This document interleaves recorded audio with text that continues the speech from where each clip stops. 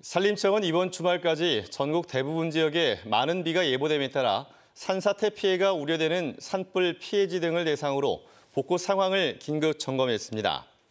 산림청은 또 산림재난 상황실을 24시간 가동하는 등 비상근무 체계에 들어갔으며 2차 피해 우려지에 대한 긴급 조치를 비롯해 산사태 취약 지역 주민 비상 연락망을 정비하는 등 안전관리 강화에도 나섰습니다.